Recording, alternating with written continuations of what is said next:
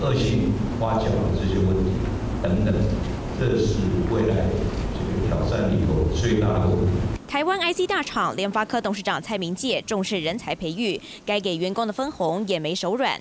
二零二四上半年员工分红约八月底发放，外界估算这一次总金额近一百三十亿元，不仅比去年同期大增超过七成，也是两年来最多。符合资格的一点二万名员工，平均每人可领一百零五万元。我们除了一年有十二个月的基本起薪，加上两个月的年终奖金之外，那我们的员工绩效奖金加分红大概。是我们刚刚固定薪资的另外的一百二十五 percent。护国神山台积电不遑多让，年终分红总金额超过五百亿，成为企业龙头。年初年末都能被钱砸醒，让科技业成为社会新鲜人梦幻职业首选。尤其 AI 议题正夯，就连高中生填志愿都往理工领域冲。台大其实是有一个半导体学院，包括像我们系也。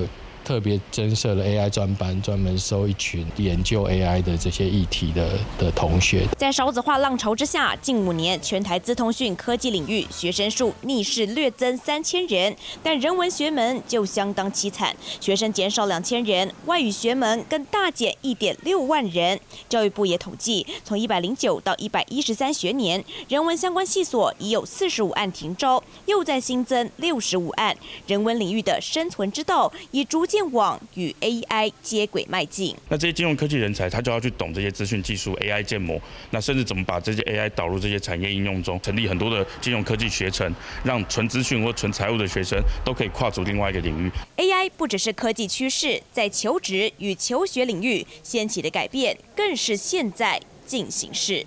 三立新闻张宇全、李佳倩台北报道。